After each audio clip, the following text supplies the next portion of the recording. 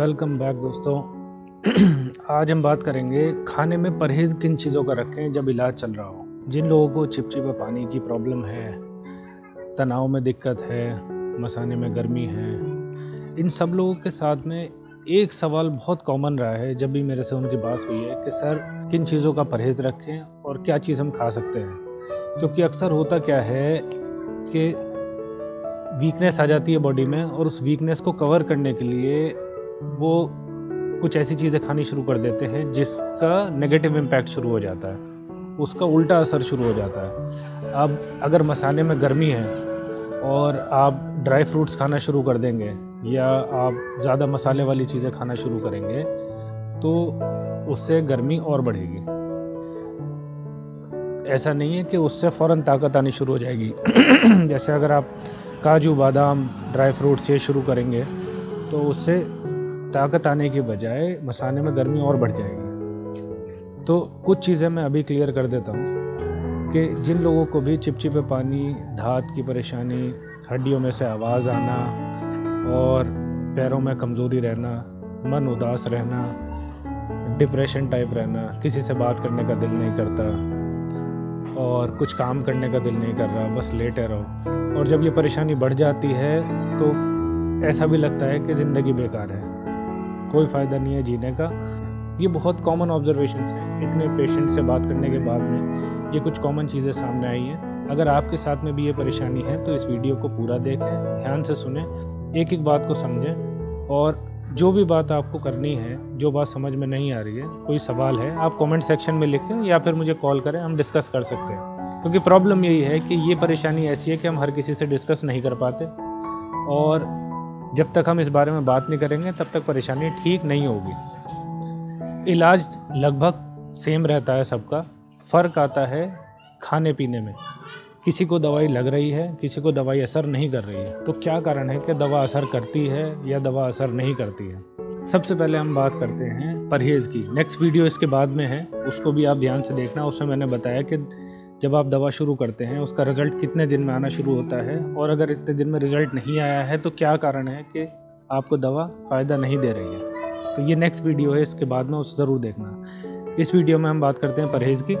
तो कुछ चीज़ों का आप ध्यान रखिए, जैसे मांस, मछली, अंडा और ड्राई फ्रूट्स ड्राई फ्रूट्स में दोबारा एम्फेसाइज कर रहा हूँ, इस वर्ड पे ड्राई फ्रूट्स आपको अभी नहीं लेने हैं। जिनको धात की परेशानी है, जिनको चिपचिपा पानी आता है, पेशाब में कतरे आते हैं, पीला पेशाब है, आप लोगों को अभी ड्राई फ्रूट्स नहीं लेने हैं। क्योंकि ये बहुत लोगों ने मुझे बताया कि सर वीकनेस है, इसलिए हम थोड़े से बादाम, थोड़े से काजू, ये सब खा लेते हैं। अभी फ़िलहाल आपको नहीं लेना है, क्योंकि इससे गर्मी और बढ़ेगी।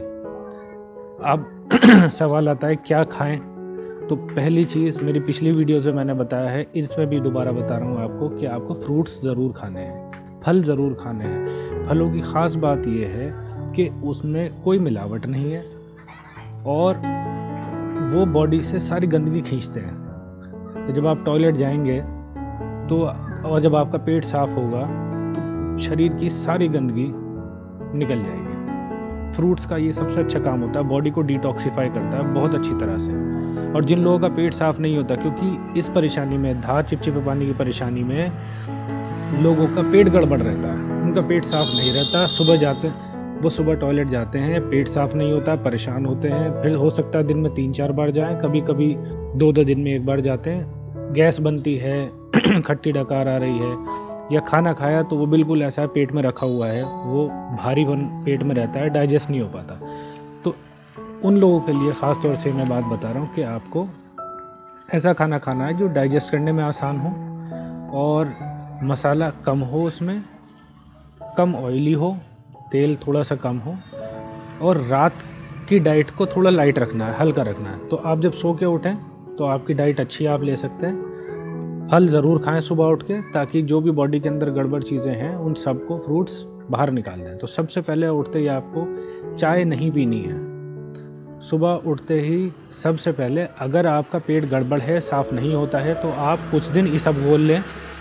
मेडिकल स्टोर से आकर बोलेंगे ईसबगोल की भूसी आती है, फाइबर होता है, वो आपको पेट को साफ़ करेगा। उठते ही सबसे पहले एक गिलास गर्म पानी करा, उसमें एक चम्मच सब गोल डाला। आपने पानी पी लिया, उसके बाद टॉयलेट गए। टॉयलेट से आने के बाद में आपको फ्रूट्स खाने हैं। आप सेब खाइए, क्योंकि उसमें फ़ाइबर अच्छा है, पेट को साफ़ करने में प्रेशर बनाने में, पेट में, और सही तरह से बॉडी की क्लीनिंग के लिए अच्छी चीज़ है। आप पपीता भी ले सकते हैं। अभी सर्दी का टाइम है तो खट्टी चीज़ों का थोड़ा सा परहेज़ रखें। तो अब आपने नाश्ते में फ्रूट्स खा लिए हैं, और इस बात का ध्यान रखें कि फ्रूट्स खाने के बाद में आप पानी नहीं पिएँगे फ्रूट्स खाने के फ़ौर बाद पानी नहीं पीना चाहिए, उससे पेट गड़बड़ हो जाता है। तो अवॉइड करें। अब फ्रूट्स खाने के बाद कम से कम 15 से 20 मिनट का गैप रखें। ज़रा फलों को अपना काम करने दीजिए, उनको बॉडी के अंदर से जो फालतू चीज़ें हैं, उनको निकालने दीजिए। और जब फ्रूट्स डाइजेस्ट होते हैं लीवर उनको डाइजेस्ट करता है, उसमें से न्यूट्रिशन निकलता है, वो पूरी बॉडी में ब्लड के थ्रू घूमता है। तो ज़रा खून को, वो न्यूट्रिशंस को लेकर पूरे बॉडी में पहुँचाने दीजिए। अभी 15-20 मिनट रुक जाइए। उसके बाद आप नाश्ता करिए। जो भी आप नाश्ता करते हैं आपको दलिया खाते हैं या आप अगर लाइट फ़ूड खाते हैं, हल्का खाना खाते हैं तो आप बिल्कुल लीजिए। कोशिश करें ऐसा खाना खाएँ जो डाइजेस्ट करने में थोड़ा आसान हो। चाहे आप तीन तीन घंटे के इंटरवल में खाना खा लें, ज़रूरी नहीं है। सुबह, दोपहर, शाम खाना है। आपने सुबह नाश्ता हल्का करा, थोड़ी देर बाद, दो घंटे बाद आप फिर कुछ ले सकते हैं। तो थोड़ा थोड़ा पोर्शन में आप खाना खाइए ताकि डाइजेस्ट जल्दी जल्दी हो। ज़्यादा लोड ना पड़े पेट पे। इसी तरह से दोपहर को आप खाना खाइए और उसके बाद थोड़ा सा वॉक कर लीजिए। सौ दो मीटर चलिए थोड़ा सा टहलिए ताकि खाना डाइजेस्ट हो। और शाम को कुछ लोग चाय पीते हैं तो ध्यान रखें, जब भी आप चाय पिए, उसके साथ में बिस्किट, ब्रेड, कुछ ना कुछ लें, खाली चाय ना पिए, क्योंकि फिर वो यूरिक एसिड बढ़ाता है, जो कि आगे चल के आपके घुटनों को परेशान करेगा जॉइंट्स में पेन होना शुरू हो जाएगा, और बॉडी में वीकनेस शुरू हो जाएगी तो खाली चाय ना लें, उसके साथ में कुछ ना कुछ ज़रूर खाएँ। अब जब आप रात का खाना खाएँगे तो उसको थोड़ा सा लाइट रखिए और रात के खाने पर ख़ास ध्यान रखिए क्या क्या चीज़ें नहीं लेनी है। रात को कोई भी ऐसी चीज़ नहीं लेनी है जो गैस करती है या डाइजेस्ट करने में मुश्किल है। आप गोभी नहीं खाएँगे रात को, आप चावल अवॉइड करिए रात को, रोटी ले लीजिए, लेकिन चावल नहीं। ठीक? आप कोई भी तली हुई मसाले की चीज़ें ये चीज़ें रात में ना लें और हैवी डाइट ना लें रात को। अगर आप नॉर्मली चार रोटी खाते हैं तो कोशिश करें रात को आप ढाई रोटी खाएँ। और उसके बाद में आप टॉयलेट करके हाथ पैर धो के तब सोइए। आप इस रूटीन के एक बार फॉलो करके देखिए और फिर खुद एक हफ़्ते में आपको रिज़ल्ट दिखना शुरू हो जाएगा कि बॉडी में चेंजेस आ रहे हैं या नहीं। और जो आप दवा खा रहे हैं धा चिपचिपे पाने के लिए, उसका असर होना कितने हद तक शुरू हो गया है। अब ये नेक्स्ट वीडियो इसके बाद में है, इसको देखिए। उसमें मैंने बताया है कि दवा जो भी आप खा रहे हैं, वो असर क्यों नहीं कर रही है और कैसे दवा आपको असर करना शुरू करे, जल्दी से आप ठीक होने शुरू हों, किन चीज़ों का ध्यान रखना है, ये ज़रूर नोटिस करें। और एक बात जो मैं वीडियो में बताना भूल गया शुरू में, कि आपको पानी ज़्यादा पीना है। रोज़ कोशिश करें, अगर सर्दियाँ हैं तो कम से कम दो लीटर पानी, अगर आप गर्मियों में वीडियो देख रहे हैं तो चार से पाँच लीटर पानी पीना ज़रूरी है, क्योंकि जो भी गर्मी निकलेगी बॉडी की, वो सब पेशाब में निकलेगी। तो पानी ज़्यादा पियेंगे, तभी टॉयलेट ज़्यादा आएगा और तभी गर्मी निकलेगी। ठीक? कुछ लोगों का क्वेश्चन होता है कि सर टॉयलेट ज़्यादा करते हैं तो उसके अंदर कतरे ज़्यादा आते हैं, चिपचिपा पानी ज़्यादा आता है, उससे और ज़्यादा वीकनेस होती है, इसीलिए हम कम पानी पीते हैं कि कहीं ज़्यादा पेशाब करने से वीकनेस ज़्यादा ना आए। तो अगर आप दवा खा रहे हैं, जैसे मैंने पिछले वीडियो में भी एक दो दवा बताई हैं ये दवा है, इसमें आप स्क्रीन पे आपको दिख रही होगी, सफूफ मुकवी लेते रहेंगे तो इससे मसाने की सारी गर्मी निकलनी शुरू होगी और ये सब पेशाब में निकलेगी। तो आप बेफिक्र होकर पानी ज़्यादा पिए, ताकि आपकी किडनी भी अच्छा काम करें, बॉडी से गंदगी भी निकले और पेट भी सुबह अच्छे से साफ़ हो। इस चीज़ का आप ध्यान रखिए। आपको आराम भी मिलेगा, आपको दवा भी काम करना शुरू करेगी।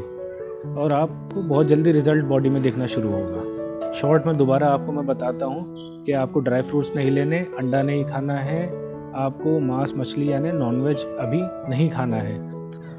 यहाँ इस वीडियो को एंड करते हैं। चलते हैं अगली वीडियो की तरफ़।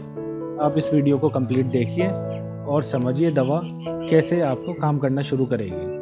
Thank you